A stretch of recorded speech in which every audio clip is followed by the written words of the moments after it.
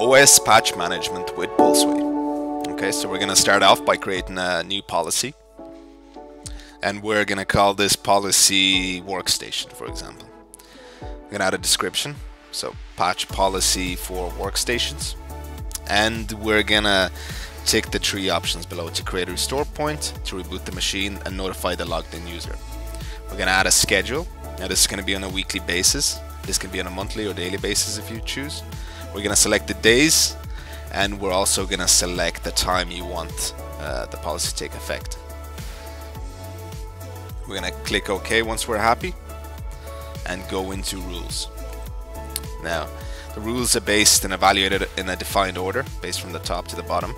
Okay, so we're going to add a rule and we're going to select a condition.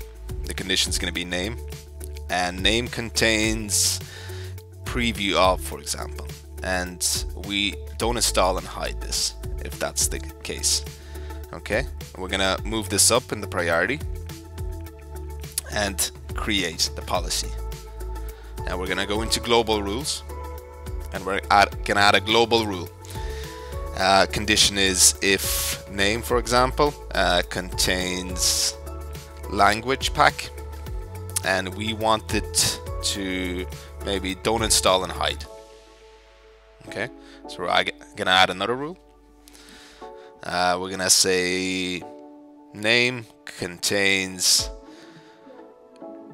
Zune and we're gonna select don't install. Now let's add a final rule. Uh, if severity is critical, we want it to approve and install and we're gonna move this into the very first priority. Let's go into agent status. We select the agents.